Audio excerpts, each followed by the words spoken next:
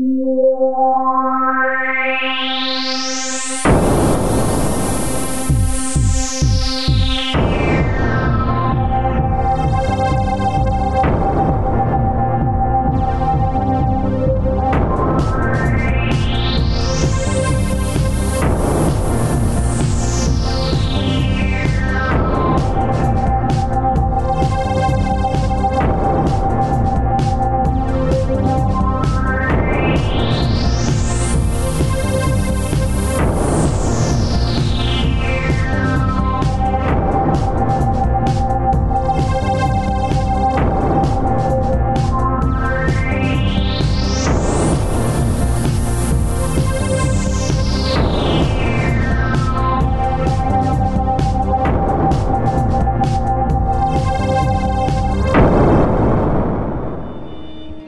Some members of the natural world who are strange and shy.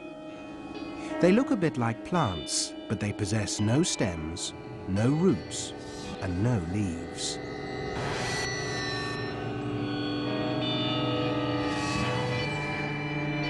Some even have gills, but they're not animals either. From slime molds to field mushrooms, this is the quirky world of the fungi.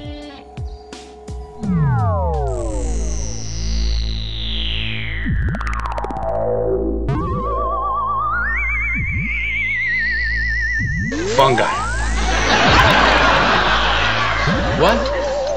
Fungi.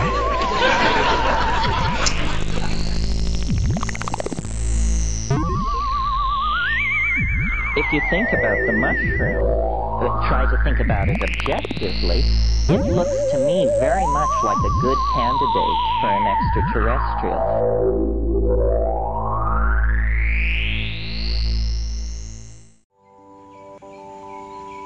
My mission is to discover the language of nature of the fungal networks that communicate with the ecosystem.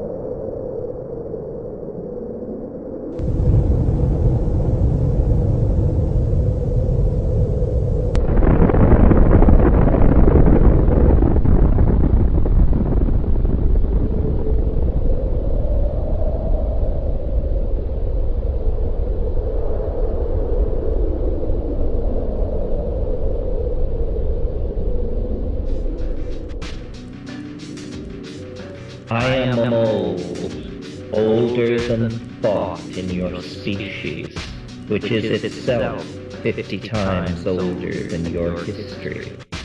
Though I have been on Earth for ages, I am from the stars.